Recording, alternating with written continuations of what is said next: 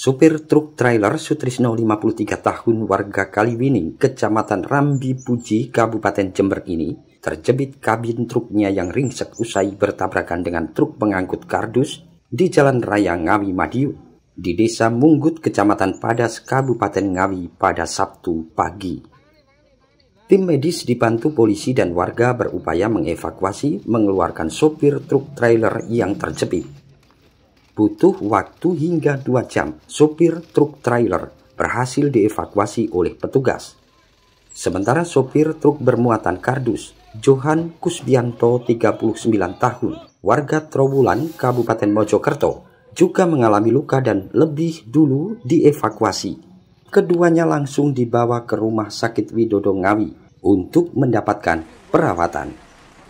Kadit Gakum Satlantas Polres Ngawi Ibda Yudi Yulianto menjelaskan, kecelakaan bermula saat truk bermuatan kardus melaju dari arah Ngawi menuju Madiun. Sesampai di lokasi diduga sopir mengantuk sehingga oling ke kanan menabrak truk trailer dari arah berlawanan. Kedua sopir sempat terjepit dan proses evakuasi berlangsung cukup lama karena kabin keduanya ringsek terjadi kecelakaan di Jalan Raya Ngawi Caruban tepatnya di Desa Munggut, Kecamatan Padas antara truk tronton dan truk kol diesel. Untuk korban dan? Untuk korban dua orang masih dievakuasi di rumah sakit. Tadi prosesnya lama ya dan untuk evakuasi korban tadi? Prosesnya sekitar dua jaman. Sempat terjepit ya dan? Iya sempat terjepit. Alhamdulillah bisa diambil. Untuk jalan ini sempat terjadi kemacetan ya, Dad?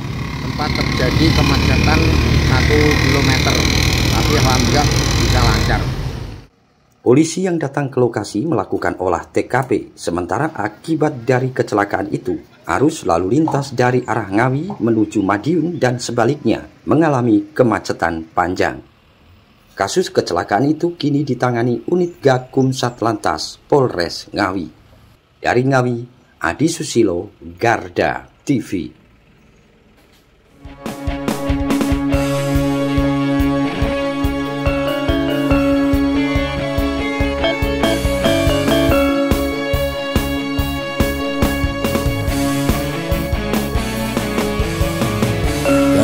Technology Rookie Media.